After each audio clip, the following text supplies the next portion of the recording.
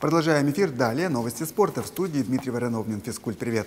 Начнем сегодня с приятных вестей из Турции, где завершилась международная гонка по маунтинбайку в дисциплине кросс-кантри. В составе российской сборной выступал там и уроженец Удмуртии Тимофей Иванов. На финише он показал третий результат дня. Победителем стал француз Виктор Корецкий. Есть чем поздравить и воткинского гимнаста Давида Белявского. В Пензе на чемпионате страны он завоевал две медали. Бронзу в многоборье и золото в упражнении «Конь-махи». Впереди чемпионат Европы. Он стартует 21 апреля в Швейцарии. Далее вести из Ханты-Мансийска с национального чемпионата по биатлону. Копилке сборной Удмуртии есть медали. Серебро в командной гонке в составе сборной Приволжского округа завоевала Анастасия Кайшева. Вторым в масс-старте был ее земляк Виктор Плицев. Дмитрий Шамаев финишировал пятым. В конце марта в Ханты-Мансийске награды чемпионата страны будут разыграны в спринте, пассиюте и эстафете.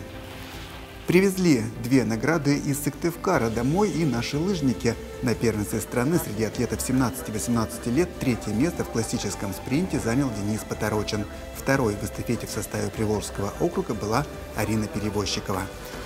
А в Ижевске на комплексе имени Галины Кулаковой сегодня стартовали финальные всероссийские соревнования по лыжным гонкам среди школьников на призы газеты «Пионерская правда». Бороться за медали этого легендарного турнира приехали 800 подростков со всей страны. Итоги первого соревновательного дня подведут сейчас наши корреспонденты.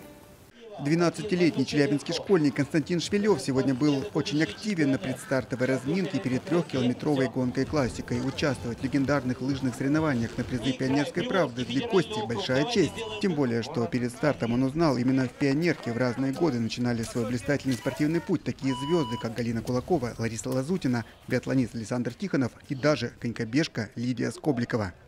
Я знаю, что легенды участвовали в таких соревнованиях. Конечно, мне приятно бежать по такой же дистанции, по которой бежали они. Очень... Ведь такие хорошие люди бежали по такой же дистанции, как побегу я.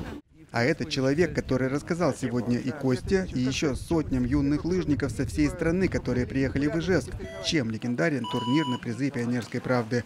Андрей Вахрушев уже почти полвека технический делегат пионерки от Всесоюзной, а теперь и Российской Федерации лыжных гонок. В этом году знаменитым соревнованием исполнился 71 год.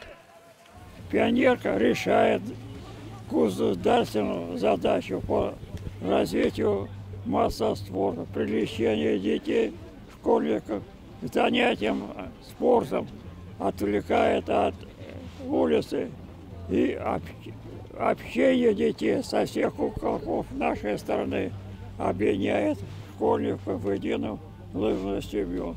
На всероссийский финал «Пионерки-2021» в Ижевск приехали 800 юных лыжников со всей страны. Все с надеждой победить. И для всех было важно на официальной церемонии открытия услышать эти пожелания от нашей легенды лыжного спорта.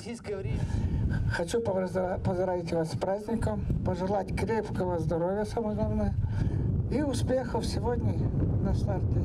Самое главное, победите сами себя. Старт дан. И для спортивной Удмуртии этот старт – одно из главных событий нынешнего зимнего сезона. ЖЭС готов всегда. Мы, правда, очень хорошо готовим трассы. Мы с большим нетерпением ждем серьезные соревнования. Для нас это крайне важно. Это возможность для наших лучших спортсменов и увидеть, и поучаствовать в таких соревнованиях. Это возможность для наших комплексов получить загрузку и, э, в общем, продолжать развиваться в нужном направлении. В первый день соревнований побед добились Алина Николаева из Ярославля и Михаил Плюснин из Новосибирска. Хозяева трассы тоже с медалью. Полина Конькова из Болезино завоевала бронзу на дистанции 3 километра. Зимние республиканские спортивные состязания школьников завершены. В этом году этот старт принимала УВА. Более 300 юных спортсменов боролись в течение трех дней за медали в полиатлоне и лыжных гонках. Кто стал победителем фестиваля, сейчас расскажет Наталья Байгозина. Желаю вам новых побед, алнашцы! Большой парад участников – главное событие открытия 21-х зимних республиканских игр школьников. 300 юных спортсменов последующие два дня разыграют заветные комплекты медалей. Принимающая сторона сделала все, чтобы эти старты для школьников были не только результативными, но и комфортными. Отремонтировали места проживания, места проведения, э, на лыжной базе приобрели технику, э, снегоход для того, чтобы более эффективно и быстро готовят лыжные трассы. То есть, ну, при, стимулировало нас для, так скажем, для приобретения кое-каких э, материалов и оборудования э, для лыжной базы. Ну и, понятно, и трибуны подремонтировали. Стрельба – один из видов, входящих в программу полиатлона. Илья Замятин, спортсмен из Воткинска, признается, перенесенная ранее болезнь и ее последствия не дали выступить хорошо в силовой гимнастике. На стрельбу – надежда на улучшение результата общего зачета. Стрельба, в принципе, неплохо. Последняя мишень не очень, а так 10-9. Уровень ребят, ну, зависит от подготовленности их тренеров, конечно. Как тренера их и воспитывают, как они их и тренируют. Также э, результат зависит от них, от самих же детей, от самих обучающихся. Вот. Но в этом году, как бы, можно сказать, результат, ну, выше среднего. А это уже лыжная трасса. Здесь соревнования проходят как в личном, так и в командном зачетах. Бегут классику 3, 5 и 10 километров, согласно возрастам.